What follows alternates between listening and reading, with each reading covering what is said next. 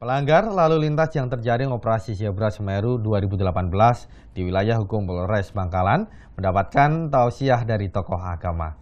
Cara ini merupakan upaya kepolisian untuk menyadarkan pengendara motor agar menaati peraturan lalu lintas saat berkendara di jalan raya.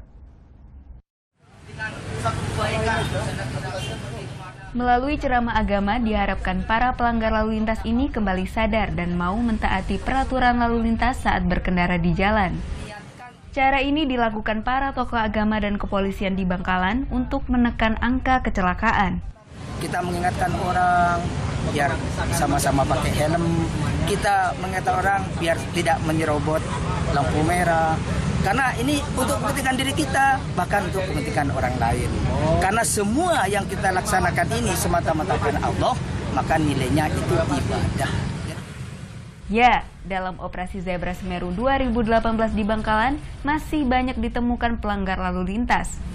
Di hari terakhir operasi Zebra Semeru saja, polisi menindak 200 pelanggar. 13 hari ini karena hari terakhir 13 hari yang saya kurang lebih sekitar 2000 lebih 2100 sekian. Yang paling dominan pelanggaran anak di bawah umur menggunakan roda dua. Yang, paling, yang kedua adalah pelanggaran helm karena kesadaran kita bisa lihat kesadaran masyarakat tentang penggunaan helm masih kurang. Polres Bangkalan juga bekerja sama dengan Kejaksaan untuk lakukan sidang di tempat bagi pelanggar lalu lintas yang terjaring dalam operasi Zebra Semeru 2018. Didik Setiabudi melaporkan untuk NET.